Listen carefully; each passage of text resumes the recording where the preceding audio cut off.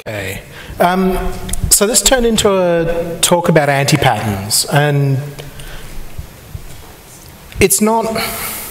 It's often not the what we forget to alert that hurts us in terms of operational sanity, really, as um, the stressors talked about earlier today were a great example of that. It, it's often what we're alerting on that we shouldn't be. Um, so earlier today in that talk, I know we had about half ops people. Um, how many of you would consider yourself on call for a service of some sort? That's after that. Um, and how many of those are on call at times they would normally be asleep, or should normally be asleep? okay, so most of you. Um, I like sleep. We all like sleep. Um, so bad alerts. There's a near infinite way alerts can be bad, but really there's only a couple and they all stem down to one core thing. Obsolete alerts. So, okay, this thing is down because we turned it down a year ago. That might seem a little obvious, but um, it's incredibly common for sites not to have good turndown procedures for systems or processes or, oh, we've upgraded our service and we no longer need this auxiliary server. Making sure you actually turn stuff down when you're meant to is really helpful. Because quite often we've seen, oh, the obsolete box is still there, we don't use it, but eh, who cares? Then a year later it blows a power supply and now it's alerting. Shouldn't have even been there to alert me. Or this thing has a bug. Which is interesting because that was fixed a couple of years ago and we upgraded. I mean, sure, regressions, but really? Um, even if they're not firing, these are really bad alerts because often a new member on your team, someone who comes along or someone who's transferred in, won't have the context to instantly know this is a bad alert and can be deleted when they're reviewing configuration. Your alerting configuration should already be in a revision control system of some type. Subversion, RCS, Git, CVS, it doesn't really matter. As long as you have that ability to know you have the history and you can always revert, you can always pull back if you ever need to. Delete, worry about it later. So, okay. What about unactionable alerts? So something's down. But it's managed by that team over there. Why are you alerting me? Um, some organisations have structural issues in that two parts of the same org will only ever talk through a third party vendor. This is amazingly common in large bureaucratic telcos, particularly. Um, but it's true in many large, oft, particularly ex government organisations that were partially partitioned in the government days. So, monitoring someone else's systems might actually be the only way I'll know if there's a problem. It might be that that other team won't monitor their systems to, that, to the quality I require. Or it might be that my systems are so flaky that if theirs goes down, I can't handle that. There may be reasons for it, but in general, I shouldn't need to care if someone else's stuff is down. This one's a little more contentious. I, I am of the view that an alert that says my service has failed its SLA, if that alert is waking me up in the middle of the night, that alert is useless. Now, what am I going to do about it? It's, it's one thing to know I'm out of SLA, maybe plan, maybe cancel some work, but what am I actually going to do? Why was it of value to get me out of bed? Now, if my service is out of SLA because it's down, or throwing errors, or the reason it's out of SLA, that I care about. The only, the only reason I, we want to know it's out of SLA to report and tell management that we failed, and the accounts team should expect complaints. We don't care operationally about the SLA as much. But do log it. Reporting on this, analysis, identifying trends, knowing before it happens that you're going to fail SLA is wonderful. Being told at 3 a.m. and being woken up just to hear you're out of SLA, that's a horrible thing. Now, really bad thresholds are an incredibly common pattern. Virtually every alert has bad thresholds. They're just not always entirely obvious. This server has a high load average of 4. It's got 32 cores. That's not actually a high load average. Um, back at a previous job, I had to rewrite the Nagios load average check for precisely this reason. We cared if a box had a load average of three or four per core. In that system, it mattered. But we had boxes from anywhere from 2 to 16 cores. So we had to rewrite the check to make it generic and handle that. In a similar direction, oh, this disk is nearly full, there's only 100 megabytes left. Well, if it's a 10 terabyte LUN, I've probably run out of time to do anything about it. If it's a 200 meg LUN, I probably don't care because it might be slash boot for a SAN, SAN boot server. So thresholds often need to be dynamic. They often need to change over time. Um, reviewing alerts once they're created is one of the least, one of the things your, your admins, yourself, your co-workers are likely to go for. It really only ever seems to happen when people are completely rebuilding their alerting stacks. And this often I suspect this is often why people who completely rebuild their alerting are very happy with it right afterwards because they delete all the crap. Hair trigger alerts are very similar. This service didn't respond in 50 milliseconds once, but it did respond in 51 milliseconds. And again, this goes back to SLAs. Okay, it might be my SLA to respond in 50 milliseconds every time, but know exactly how that can fail. Know what is worth alerting about. Here, your alert log is, his, is good history here. Non-impacting is similar. Again, if I've got one web server down, sure, that's something I want to know about so I can get it fixed. Don't wake me up if I have eight servers and I only need six and if it's a local web service, not a global one, the load at 3 a.m. might only be 2% of normal. I don't care.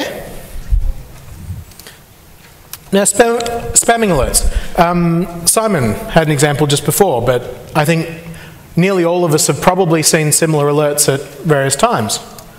This thing's down for the trillionth time even if this matters, you've stopped caring.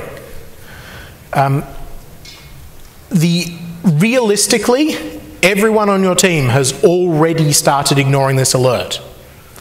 It doesn't matter how critical it is, it fires so often, especially if it doesn't actually seem to break anything. If it's a your redundancy is impacted or this network link in the place that doesn't actually matter very much is broken you stop caring, you stop acting, and you start ignoring.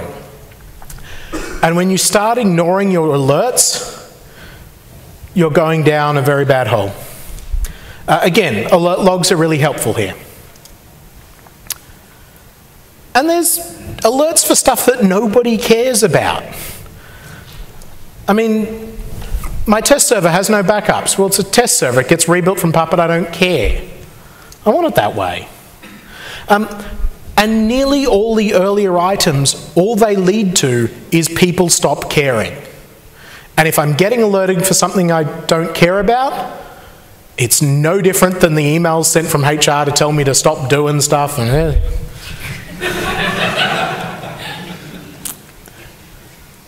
And it's, it becomes spam in my inbox or spam waking me up at night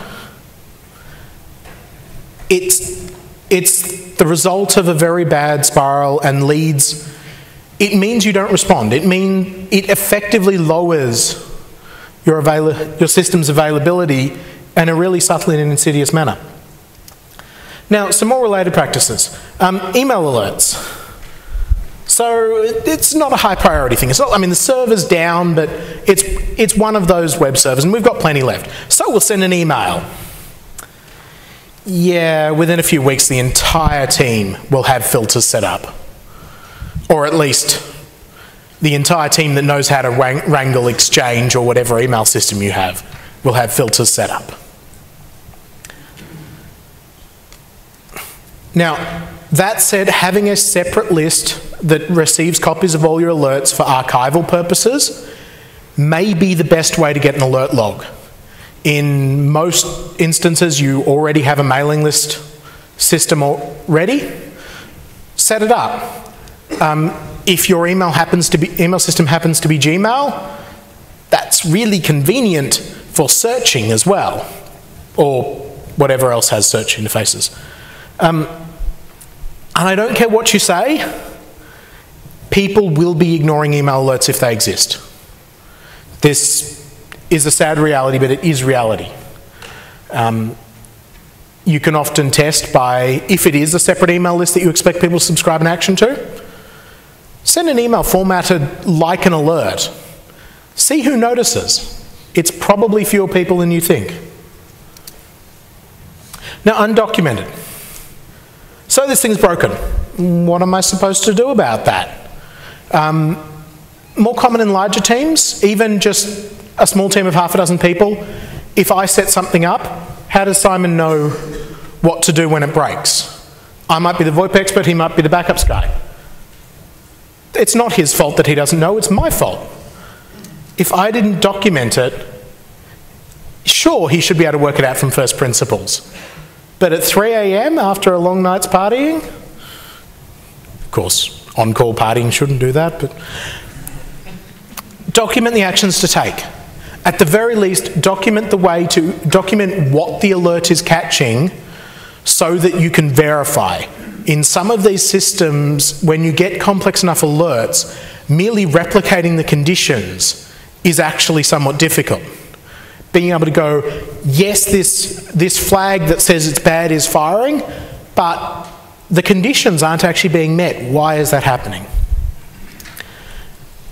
It should be documented such that all on-callers can follow. You don't need to make it such that the new knock guy you hired next, last week can handle it. You should be able to make it so the new, on, the new engineer you hired last month can handle it. Maybe three months. It, how long someone takes to become on call depends on your site. Practices like this reduce that time and increase their effectiveness. Having an acceptance process for alerts is an extremely effective way to do this if you have people who aren't on the team writing alerts. Uh, in the DevOps shop, if the developers are writing alerts for you, if you've got separate operations and engineering teams having a review process for your alerts and thresholds, bug queues require documentation, require those playbook pages to exist. And only people who are actually on call should be accepting alerts. Um, in general, this will probably be some senior people. Mm, as long as it's on callers, it's at least mostly okay. Um, silencing. If your alert system is going to actually page someone, it's going to take any automated action, you need a way to silence it. Um, in practice, this ends up being a whole system because you very quickly go from this, uh, I need to take this server down for reboot, silence it, to, oh, actually, that causes impacts on these systems. It means these network ports go down. You need a system that resolves these and handles them. It's an ugly, not fun system. It's a lot better than grumpy admins it's possibly the most annoying way to get woken up or lulled out of your mid afternoon nap when someone else does work they were planning but didn't silence it right, and so you get tens, thousands of alerts. This may include things like scheduling. If you're doing this for network alerting, you probably want to schedule the silence for the carrier outage at 3 a.m. rather than having to have someone wake up and inject it, or injecting it eight hours earlier. And one of the last, and a horrible anti pattern is production by fiat. When your executive says this is now in production because I say it's in production, uh, good luck. And lastly, I would highly recommend, uh, many of you will have seen Tom Limoncelli speak uh, at, amongst other things, past LCAs um, with his usual cohort of friends. He has a new book, The Practice of Cloud System Administration. It has a couple of chapters covering alerting and monitoring. I don't agree with 100% of it, but it's really good material to start with and think about, and it has the names of some of the most respected people in sysadmin behind it. Thank you.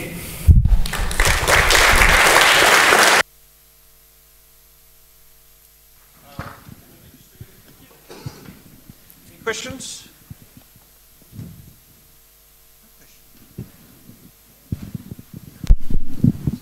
Hi, Julien. Um, you said your alert before about the load average of four. You don't care because it has 32 cores. Isn't that irrelevant though? Shouldn't you be concerned with what is normal for that box? Is if it's normally operates with a load average of two and suddenly it's gone to four, something's probably wrong.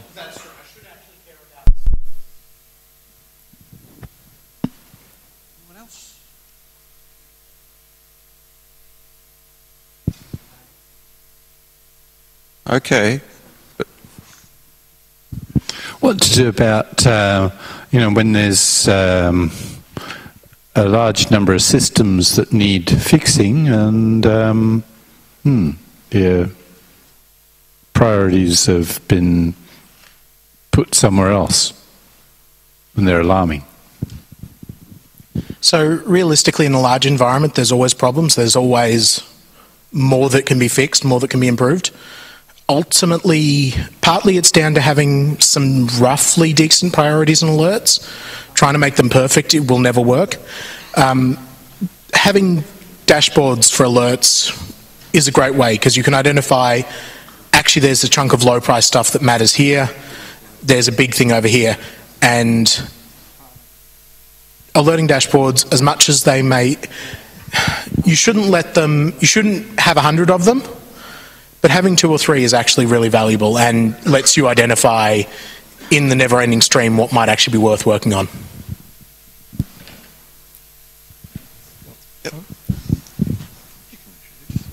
Okay.